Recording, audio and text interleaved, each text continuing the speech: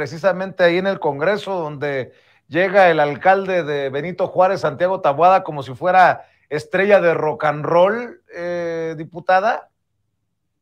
Así es, así es. Eh, fue el día de ayer, eh, antier, perdón, que tenía que comparecer el alcalde de Benito Juárez, lleva, pues parece que el mismo grupo de, choque, pues, pero eh, en esa ocasión estaban aplaudiéndole y gritándole que contaba,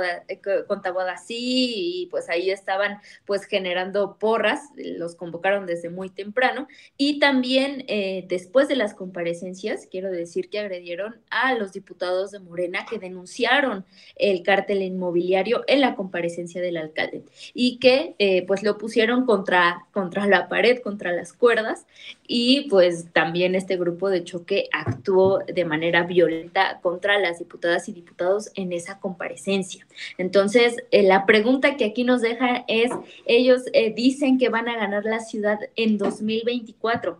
con grupos de choque van a gobernar la ciudad en 2024. Esta es la ciudad que queremos, no queremos una ciudad de derechos, de libertades, de libertad de expresión, queremos una ciudad eh, pues donde se ejerza la violencia, donde si no piensan igual que uno, pues luego, luego se suelte la patada. Es una pregunta que tenemos que hacernos las ciudadanas, los ciudadanos, porque esto que pasa en el Congreso está pasando en todas las alcaldías con las clases eh, pues populares, con los sectores que no votan por los alcaldes de oposición, como lo hemos denunciado en varias ocasiones, el adelgazamiento los mercados públicos, a los tianguis que también hacen parte de, la cultura de la Ciudad de México, a las expresiones artísticas, urbanas, ¿no? Como es el caso de Sandra Cuevas. Entonces, eh, pues están mostrando lo que son y qué proyecto político tienen, que es básicamente conservar sus privilegios y quien no esté de acuerdo,